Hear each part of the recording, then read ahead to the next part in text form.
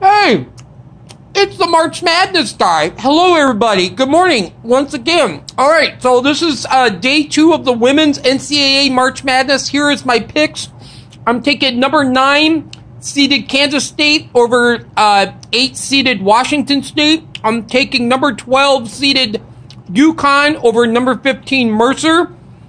I'm taking number six BYU over Villanova. I'm taking number three Indiana over number 14 Charlotte. I'm taking the number one seeded NC State over number 16 seeded Longwood, uh, which the women's got in the NCAA tournament uh, team also has the men. Number six Ohio State over number 11 Missouri State. I'm taking number four seeded Tennessee over number 13 Buffalo. I'm taking the three seeded Michigan Wolverines over the 14 seeded America, the number 10 seeded Florida Gators over number 7 Central Florida in an upset.